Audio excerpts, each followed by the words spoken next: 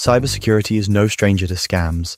Just think about all those phishing emails, fake antivirus software, ransomware, and of course, crypto mining malware. But I'm not here to talk about the obvious scams like Nigerian princes and shady crypto tokens. No, I'm talking about the lies sold to cybersecurity professionals, the kind of stuff that keeps us up at night. And trust me, it's a long list, so buckle up. First off, let's talk about multi factor authentication, the supposed fortress of online security. Sure, it's supposed to make everything safer, but it often ends up being the equivalent of putting a padlock on a paper bag.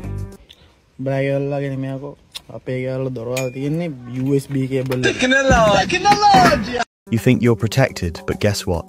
The bad guys already bypassed your MFA with a single click.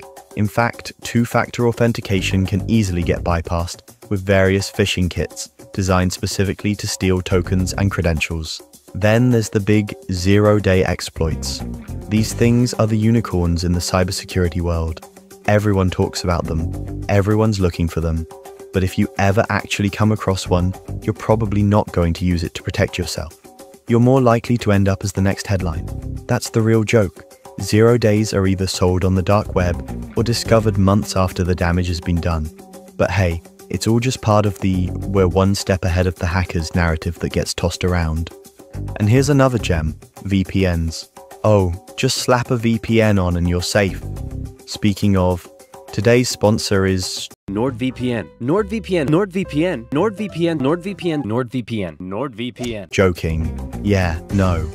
Not only does it slow your internet down to a crawl, but half of those so called secure VPNs are collecting your data and selling it to the highest bidder.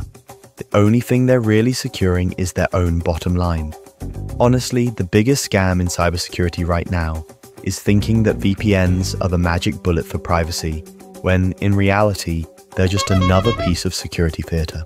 But hey, let's take a moment to appreciate the true scam of cybersecurity the industry's obsession with certifications. Want to be a certified ethical hacker?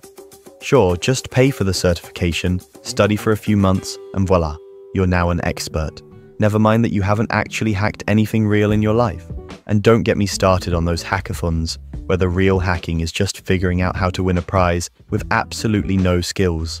And of course, we can't forget about cybersecurity incident response plans. You've got one, right? You're totally prepared when the inevitable breach happens. Nah, the truth is, your response plan is a 200 page document that no one actually reads until after the breach. And speaking of companies, most don't actually secure their systems. They'll install some random tools, ensure they're PCI compliant for the 10th time this year, and then call it a day. They send reports to upper management, assuring everyone that we're secure, and then carry on with their lives. That is, until a cute little ransomware message pops up on their screen demanding $100,000 in encryption fees. Suddenly, they realized that the false sense of security they built was just a well dressed house of cards. Companies also often pour big budgets into fancy security tools or AI driven solutions, thinking that's all it takes to stay safe, but completely neglect basics like patch management and employee training.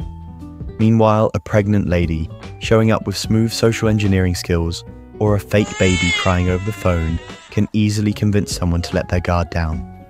She walks right past security, plugs in a USB drive, and completely messes up the entire company network. All the tech in the world won't protect you if your people fall for these simple tricks, or if your physical security has holes you can drive a truck through. Hope I didn't totally bummer you out here, just trying to keep you sharp. Trust me, this industry really is full of scams, but knowing the truth is the first step to beating them.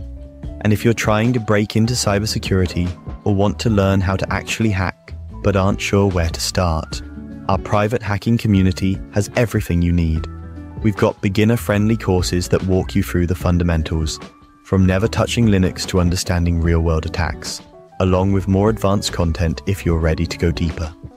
It doesn't matter if your goal is to land a job, pass a certification, or just build serious skills, you'll be surrounded by a community of driven people who are learning, growing, and helping each other every step of the way. You get a one day free trial, so there's no risk in checking it out.